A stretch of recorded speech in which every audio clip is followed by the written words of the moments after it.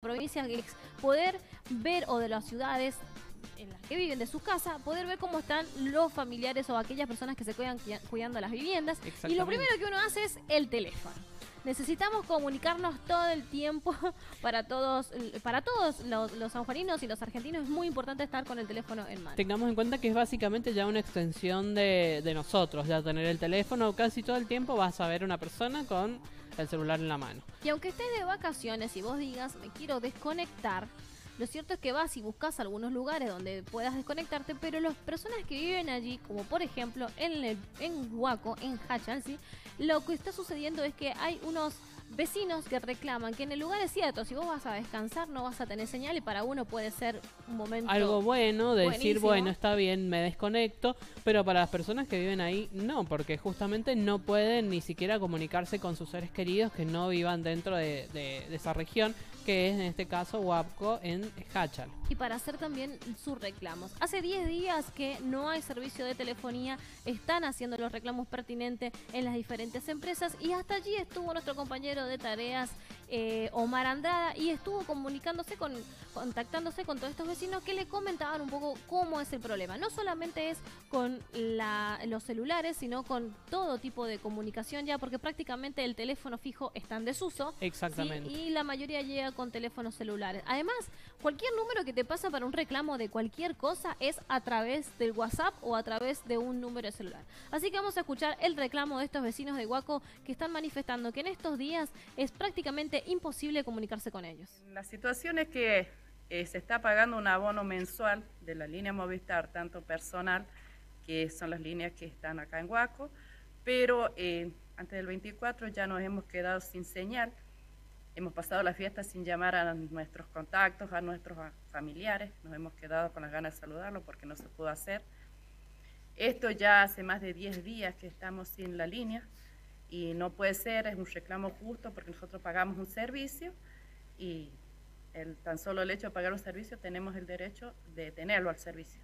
La cosa que no lo tenemos, en algunos domicilios particulares tenemos wifi, que es lo que los estamos manejando, otros vecinos al no tenerlo se acercan a la casa de algún vecino a pedirlo por alguna urgencia.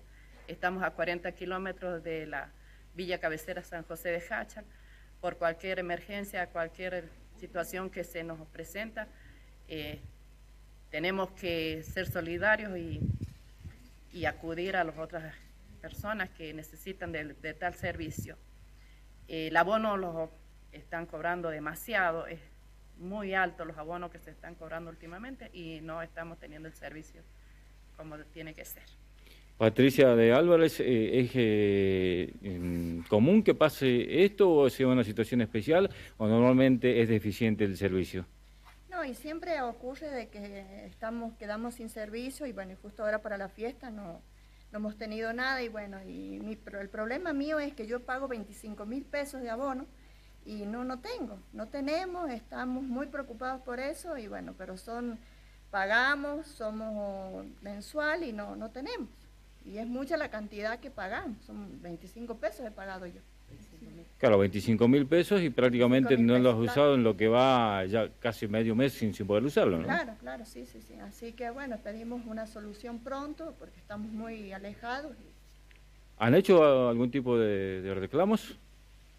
Sí, sí, sí, sí, sí, han hecho, sí, se han hecho... Sí, han enviado notas, han hecho reclamos por los medios... Eh, de comunicación y las redes eh, sociales también. Sí, presentado a través de las redes sociales del Facebook que anda circulando eh, un pedido a que esto nos dé una solución, pero no la estamos recibiendo.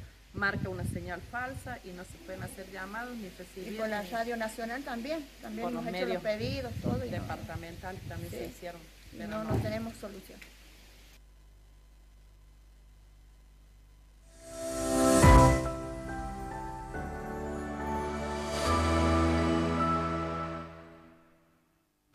Los vecinos de Guaco hace ya más de 10 días, ya casi van 12, 13, hasta un poquito más porque es desde el 22 de diciembre no tienen servicio. Claro, ya no funciona en la zona y Movistar y Personal son las empresas que están funcionando y no les dan respuesta. Esperemos que entonces prontamente puedan tener alguna respuesta y van a estar en comunicación también con Defensa del Consumidor y, Defensoría del Pueblo para ver si solucionan este tema, porque no es la primera vez que les pasa esta incomunicación, sino que además las diferentes empresas no logran resolver el problema de comunicación en esta área. Pero lo que nosotros vamos a tratar de resolver en este momento es nuestra comunicación con el deporte, porque